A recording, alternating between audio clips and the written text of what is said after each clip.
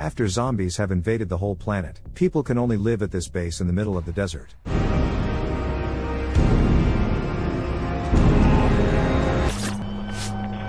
At the beginning of the story, Alice wakes up in a bathroom in some kind of mansion. The girl is confused and doesn't understand where she is and how she got here. After getting dressed, she walks out into the hallway, and her attention is drawn to a mysterious door. Behind it is an unusual and extremely dangerous room. She touches the wall and frightening moments from the past flash before her eyes. Suddenly the door to the room closes. A laser beam comes out of the walls and approaches Alice with tremendous speed. She reacts quickly and dodges the laser by jumping to the ceiling. The girl has no idea yet that this is just the beginning of a terrifying ordeal. Now a laser net is looming over her. Alice remains unharmed again, having jumped into the ventilation shaft. Terrified, Alice makes her way down the shaft and finds her way out into the corridor. After looking around, she realizes she is in a hospital. The girl discovers a medical gurney and runs down the corridor with it to avoid another trap. After a couple of seconds, a glass screen descends from the ceiling, splitting the gurney in two in an instant. Alice is terrified, shaking with fear, but continues on her way cautiously. The girl has not even had time to walk a few meters, when suddenly a mine rises from the floor and releases shrapnel directly into Alice's stomach. The girl's injury looks fatal.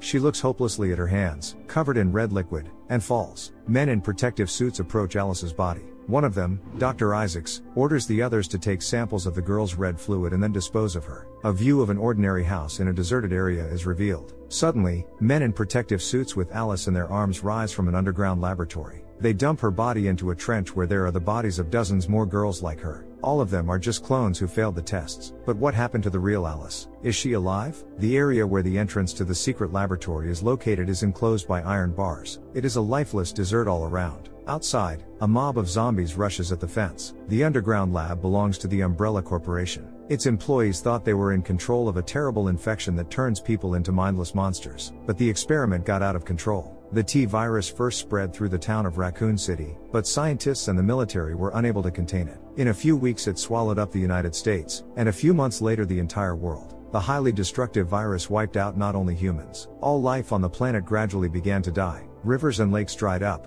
forests and fields turned into barren deserts. Groups of survivors learned to live in endless traveling. Staying in one place was too dangerous. The real Alice, like other survivors, wanders across America in search of food and fuel. She stops at an abandoned building and goes inside. The girl is very careful, because danger lurks around every corner. In one of the rooms, Alice sees a surviving woman with a baby. Without lowering her gun, she approaches the people. The crying woman begs for help for her baby. Alice hides the gun and takes the baby in her arms. But after a closer look, she discovers that it is only a doll. At the same moment, she finds herself at gunpoint. A family of marauders attacks her. One of the men starts to molest Alice, but with a strong blow to the leg, the girl takes him out. The rest of the family stuns her and Alice faints. The girl wakes up in a room with many cages containing infected dogs. They are wildly aggressive and ready to tear Alice apart at any second. The family decides to amuse themselves by releasing the zombie dogs to tear the poor girl apart. But these people have no idea of the outcome of their ridiculous and cruel plan. Alice uses her amazing abilities and destroys both the dogs and all the marauders. Her incredibly fast reactions and dexterity help her stay unscathed in this fight. She picks up her remaining weapons and sets off again.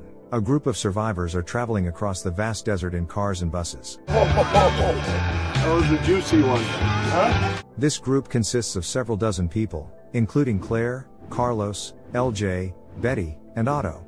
They radio each other from different cars and deal with all the pressing issues. Meanwhile, more and more zombies keep popping up on the highway. The science department of the Umbrella Corporation, led by Dr. Isaacs, reports to Chairman Wesker on the level of biological danger in their region. Isaacs says these monsters don't need to feed in order to exist, but they crave human flesh, and it could go on for decades. We're to be trapped underground for decades? Wesker orders Isaacs to report on the Alice project. The doctor claims that the antibodies in Alice's red fluid will help him develop a serum. This substance will be able to fight the effects of the T virus in the human body. The doctor estimates that the serum could partially restore cognitive function to zombies and curb their lust for flesh. Isaacs plans to tame these creatures like animals and use them as free labor. The management of the corporation doubts the doctor's plans, as many experiments he has conducted have yielded no results. In his excuse, Isaacs says that he needs the source material, i.e., the real Alice. Now the scientific department works only with her clones, so the results of the whole project are unpredictable. Dr. Isaacs is ordered to continue his research and achieve the necessary results, because Alice is the main project of the entire corporation. After finishing the meeting, the chairman disappear, and it turns out that they were only holograms. Alice is still traveling. She fires a crossbow at a zombie to approach a gas station, but there hasn't been any fuel there for a long time. The girl cautiously enters the abandoned store. She notices a door and decides to open it. Behind it, the girl sees a decomposing body and many flies. Alice clears her throat from the disgusting smell and wishes to leave quickly,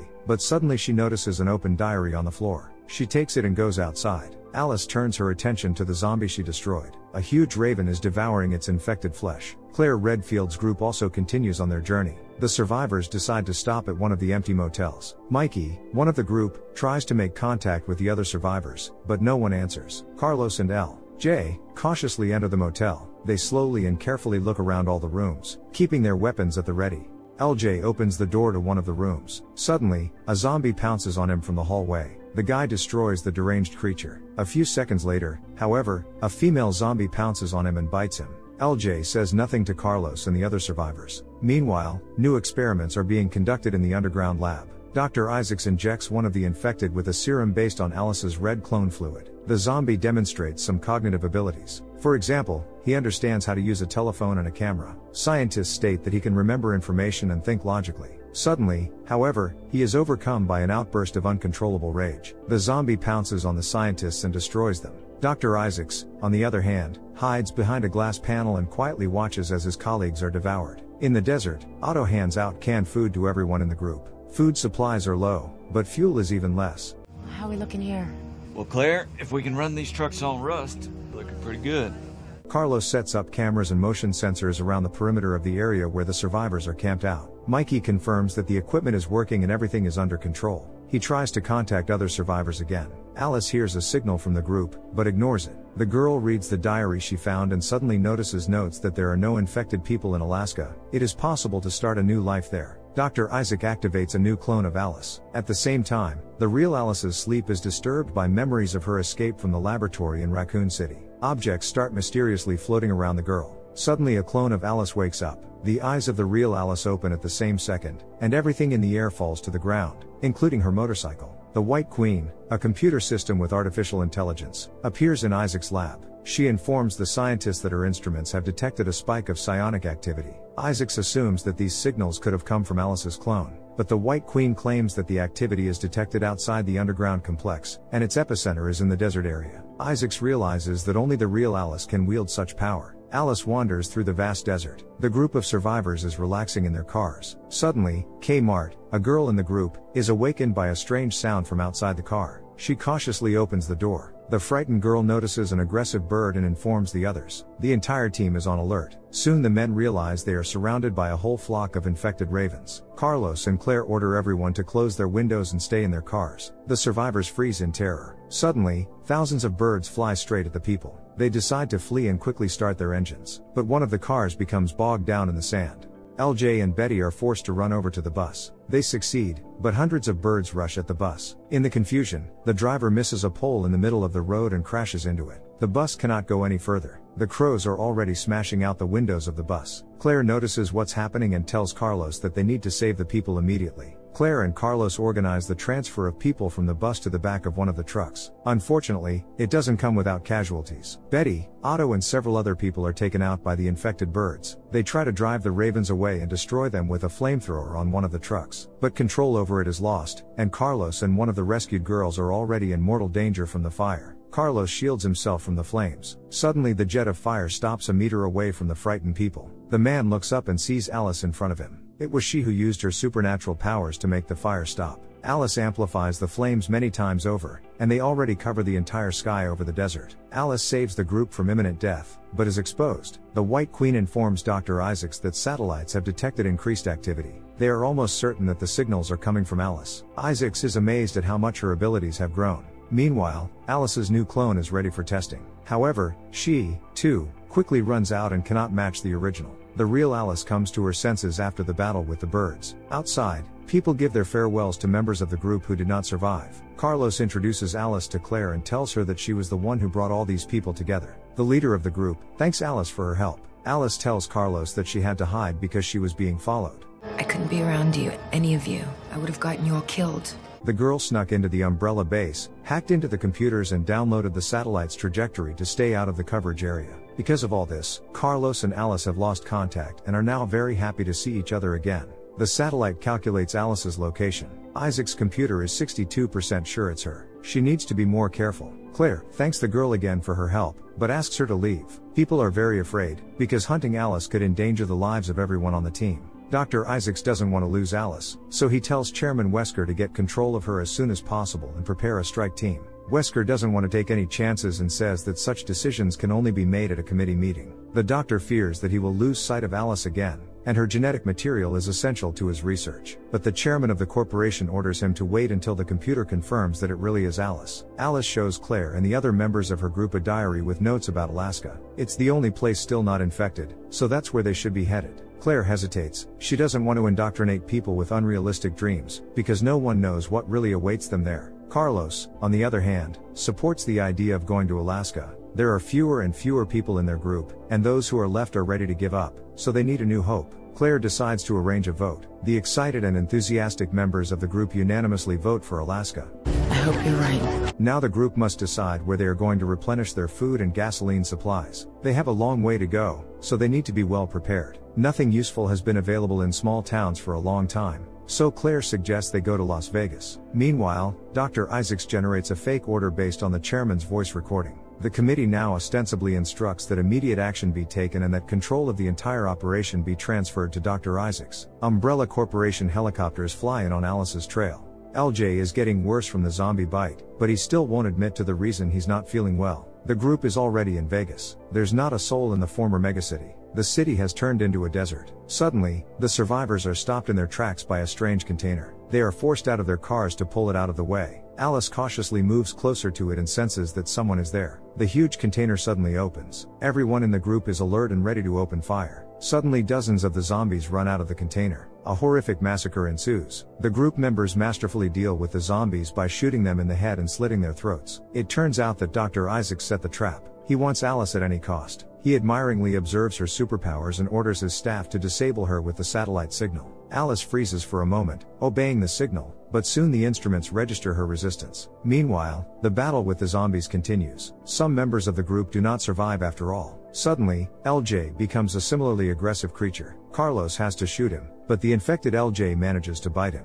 Alice manages to resist the satellite's influence, the circuit board inside it malfunctions. The girl comes to her senses again and continues the fight. After destroying several more zombies, she heads straight for the employees of the corporation. They try with all their might to stop her, but the old methods no longer work on Alice. She destroys all Umbrella employees. Dr. Isaacs is bitten by a zombie, but he manages to get into a helicopter, where he must be injected with an antivirus. The surviving scientists fly away, and Alice has a new plan. They will not go to Alaska, but fly. To do this, they need to track down the company helicopter and capture it. Dr. Isaacs is already in the underground laboratory. He injects himself with several doses of vaccine. The genetic material of Alice's clones has only increased the creature's power, and now no one knows what will happen to the doctor after the bite of the mutated zombie. The heads of the corporation decide to eliminate Isaacs. One of the committee members shoots the doctor, but he stays alive. Suddenly he develops long tentacles instead of an arm, which he uses to destroy the employees in the lab.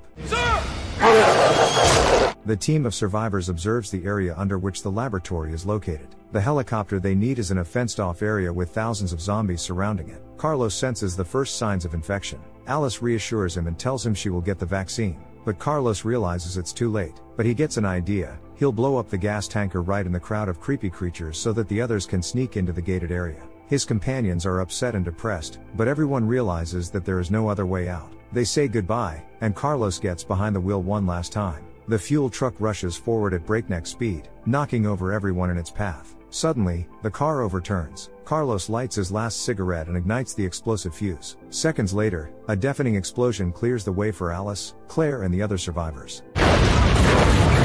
Everyone in the group manages to get into the helicopter, but Alice refuses to fly with them. She has to get rid of her enemies. Alice sees the trench with the bodies of her clones. She becomes overwhelmed with anger, pulls out her machete and heads for the entrance to the lab. Once downstairs, Alice cautiously inspects the corridors. The girl enters the trash laboratory. Suddenly, the White Queen appears before her. She explains that Dr. Isaacs is infected. He was bitten by the creature on which Alice's new clone fluid serum was being tested. The infection has caused an extensive mutation in Isaac's body. Alice realizes that her red fluid is the cure. The lab has everything it needs to create an antidote and end the zombie apocalypse. However, the White Queen can no longer contain the monster that Isaacs has turned into. If it breaks free, it will destroy Alice. Now she has to get to Isaacs. The girl descends further down to even lower levels. She explores the dark and dangerous corridors once again. In one of the rooms, Alice finds her own clone in a transparent bowl filled with liquid. Suddenly Alice is attacked by a terrifying mutant, the former Dr. Isaacs. The orb shatters and Alice finds her exact replica in her arms. Frightened by the look of the real Alice, the clone faints. The battle with the mutant Isaacs resumes, but it is not easy to get rid of him. All of his wounds heal instantly. He releases his long tentacles and strangles Alice. At the last moment, she manages to reach for her machete and cuts them off. Isaacs unleashes his tentacles again, but now Alice restrains them with her incredible powers. She throws the mutant back with tremendous force, but he survives again. Alice finds herself in the room with the lasers. She tries to defeat Isaacs by any means necessary. I am the future. Suddenly, a laser grid looms over the mutated doctor and cuts him into small pieces. After a few seconds, the laser might do the same to Alice. But at the last moment, the grid stops and disappears. Alice's clone wakes up in time to sneak into the computer. Yeah, you're the future, alright. The management of the Umbrella Corporation tries unsuccessfully to contact the North American station. The CEO realizes that they have lost the employees of that base, but research must continue anyway. A projection of Alice suddenly appears in the conference room. She reports that she is close, and with her are several of her new friends. These friends turn out to be thousands of Alice clones who are ready to save the world from ultimate destruction. Do you think Alice will succeed in eradicating evil from the planet and defeating the ruthless corporation? Or will the scientists and military prove stronger and win this battle? Share your thoughts in the comments, like and subscribe to the channel. See you in the next videos.